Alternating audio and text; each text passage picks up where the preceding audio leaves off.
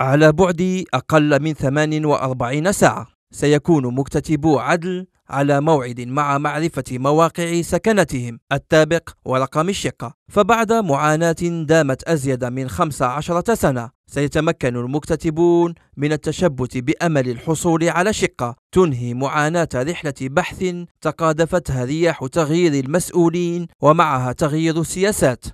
وكالة عدل. التي شل نشاطها لعدة سنوات وعلى عاتقها آلاف المكتتبين المطالبين بسكنتهم. لم تحيي نشاطها إلا في 2013 عندما قررت الدولة إعادة بعث المشروع ودراسة وضعية مكتتبي 2001 و2002 حالة بحالة. تحيين ملفاتهم وإقصاء المستفيدين. ليتوقف الرقم عند 80 ألف مكتتب.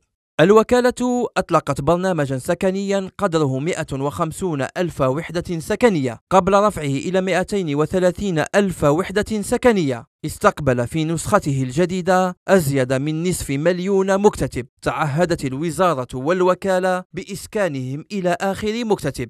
مكتتبو عدل واحد دفعوا الشطر الأول ثم الشطر الثاني واختاروا مواقع سكناتهم في انتظار مقررات الاستفادة المسبقة التي حددت بتاريخ الثامن فيفري 2016 مكتتبو عدل اثنان الذين دفعوا الشطر الأول هم كذلك على موعد مع اختيار مواقع سكناتهم ودفع الشطر الثاني بداية من الحادي عشر مارس 2016 المكتتبون لا زالوا متخوفين من واقع تقدم المشاريع السكن ما لم تشرع الوكالة في تسليم المفاتيح. في حين لا زال البعض منهم ينتظر رد الوزارة على الطعون ومن المكتتبين من لم يتم الرد عليهم نهائيا إلى اليوم. وكالة عدل التي أعيد هيكلتها بطريقة تتلائم مع تسريع عملية الإنجاز والمراقبة والتسليم. تسعى إلى تسليم قرابة المئة وخمسين ألف وحدة سكنية هذا العام وفي انتظار اليوم الموعود